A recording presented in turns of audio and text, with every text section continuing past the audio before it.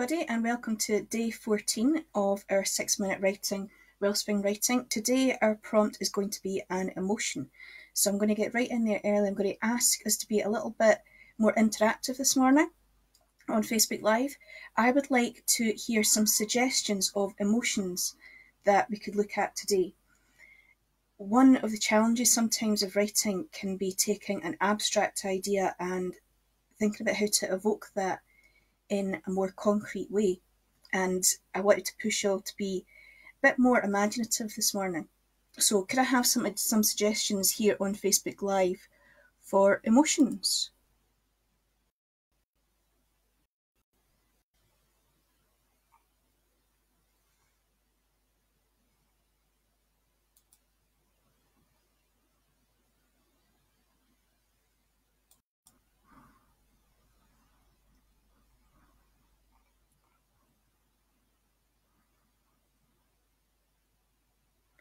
One example of an emotion, for example, could be anger, or happiness, or sadness, or frustration.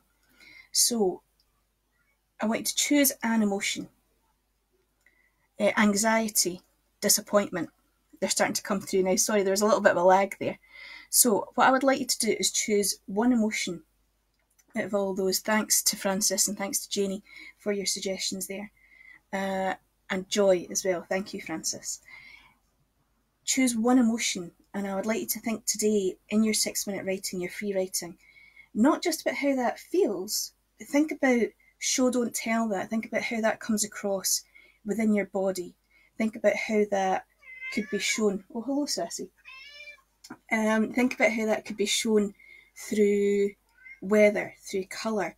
Think about concrete things that you could use to help evoke that emotion throughout your writing. Okay, so your six minute writing, choose an emotion, any emotion, and then think about making it from the, turning it from the abstract into the concrete. Okay, so your six minutes, I'll set up the timer on my phone. Six minutes on the emotion of your choice. Remember, keep going, keep writing, even if you don't know what to write. This is a bit more of a challenging one, uh, maybe this morning. I usually just let you free write. So just keep it, keep writing. And if Sassy keeps me out, I will mute the microphone until the six minutes are up. Okay? So six minutes. Keep writing, keep writing, keep writing.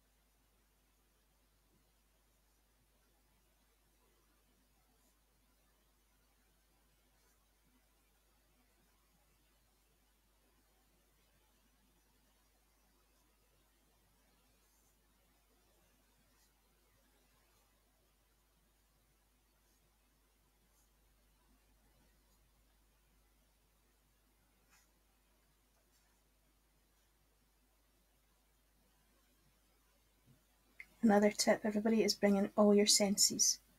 Think about what you can see, hear, touch, taste, smell.